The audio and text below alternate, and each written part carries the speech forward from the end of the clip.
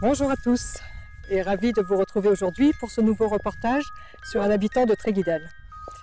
Aujourd'hui, nous allons rencontrer Pascal Isaac et avec lui, nous allons nous transporter dans un autre monde lié au rêve et à l'imaginaire. Alors, je ne vous en dis pas plus, vous allez comprendre tout de suite.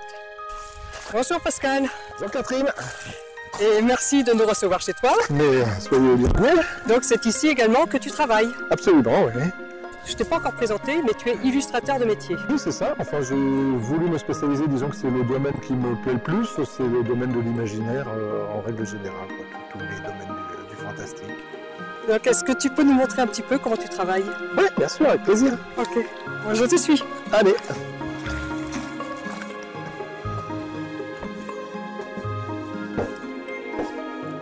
Alors, ça c'est ton univers de travail. Bienvenue dans mon antre. Alors, compte tenu du nombre d'illustrations que tu as, je pense qu'il doit y avoir pas mal de créatures imaginaires qui circulent ici. non Ah, mais là, il y en a partout, là. Oui, oui, oui. Mais euh, je les ai prévenus, hein, pas de soucis. D'accord. Oui, oui, elles seront sages.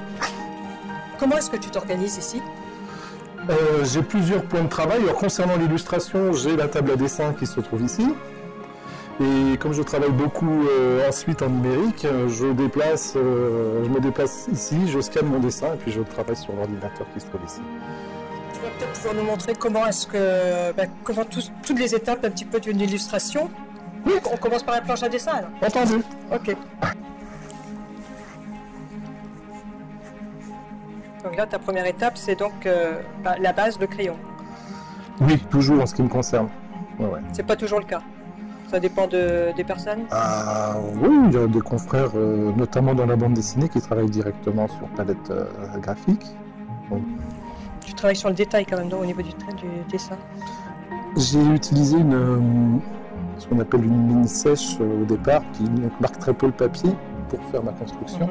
Maintenant, j'attaque avec un crayon très gras pour marquer vraiment les, les traits qui m'importent et, et fixer le- les éléments principaux.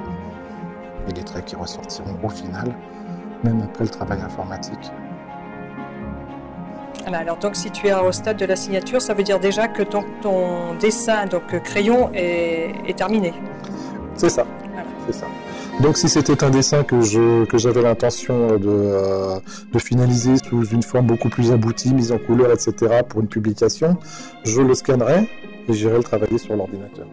Mais au niveau de la face papier, euh, D'accord, l'étape est terminée là. Voilà. D'accord. Donc à ce moment-là, on va peut-être pouvoir se rapprocher de ton ordinateur. Le numérique c'est un outil comme un autre quoi. Donc effectivement je privilégie cette, euh, cette option numérique à la à l'option euh, travail traditionnel. Euh, mais bon c'est un c'est un choix de ma part. Il y a des avantages et des inconvénients. Qu'est-ce que ça apporte l'ordinateur en plus? Euh, L'ordinateur, moi, ce qu'il m'apporte essentiellement, c'est la facilité pour euh, pouvoir reprendre. Je suis, j'ose le dire, un peu laborieux parfois, donc j'aime bien pouvoir essayer plusieurs, plusieurs solutions.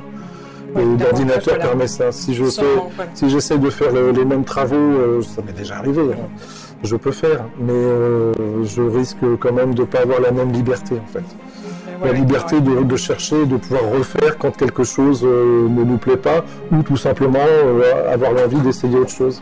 Ouais. Euh, c'est essentiellement ça. Mais sinon, ça reste un, un outil comme un autre. hein. Euh, euh, quand on dit facilité, ça je peux passer 40 heures sur, euh, sur une illustration, ça n'a rien de facile. Est Tu travailles sur la tablette. sur la tablette graphique, alors la mienne est toute petite, hein, c'est vraiment le modèle de base.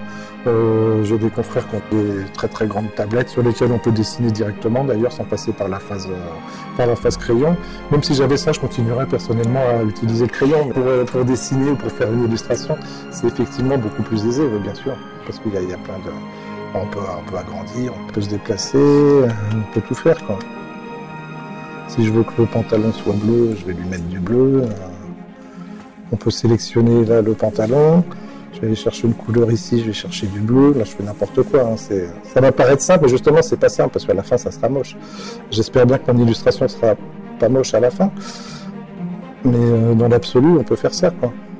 Euh, le gros handicap de l'informatique, je dirais, c'est qu'on n'a pas l'objet final. C'est pour ça qu'il m'arrive de, faire, euh, de refaire les illustrations que j'ai faites à l'ordinateur, de les refaire à la peinture, pour avoir, Ah, le rendu. pour avoir l'œuvre Ah en fait. oui, ouais. Là, on reste un petit peu dans le virtuel. Oui, Et pourtant, ça demande autant de travail Oui. que, que le reste. Cette année, tu viens de publier un, un livre avec Merlinéa Oui, et qui s'appelle Les révélations de Merlinéa. c'est ça, ouais. D'habitude, un livre, euh, eh ben, il est illustré. Et vous, vous avez fait le contraire. Vous êtes parti Exactement. euh, voilà, d'un livre d'illustration et. Merlinéa, donc en fait, c'est inspiré de tes dessins pour en fait euh, rédiger ce texte. C'est ce qui fait l'originalité de notre concept de départ, on va dire. C'est une idée de Merlinéa. Elle m'a contacté, c'est écrit dans les premières pages, la manière dont, dont c'est né. C'est né sur Facebook. Et euh, elle m'a contacté en me disant euh, voilà, euh, tes dessins me plaisent, est-ce que je peux faire des dessins? J'ai dit ok. Donc elle a fait plein de dessins. Elle a fait plein de textes, pardon, sur mes dessins. Sur ce livre, il y a beaucoup d'années de travail en fait. Euh, Merlinéa elle a repris euh, l'ensemble de mes dessins. Ça veut dire qu'il y avait des dessins euh, très personnels, d'autres sur des projets tout à fait particuliers, sur des thèmes particuliers, pour des magazines. Donc effectivement, il y a de tout, avec quand même un, un point commun qui est toujours l'imaginaire. Alors, le financement participatif, quelque part, c'est un bon tremplin. Mais ensuite, ben, il faut se faire connaître. Et quand on habite et qu'on travaille dans une petite commune rurale, comment est-ce qu'on fait? Aujourd'hui, encore une fois, comme la, la jeunesse du livre, s'est faite sur Facebook, on, se- on continue à se faire connaître sur Facebook. Et puis avec un livre entre les mains, on peut faire les festivals, les salons du livre, etc. Voilà, C'est donc un livre qui est publié, qui continue en fait toujours à s'éditer. Ouais.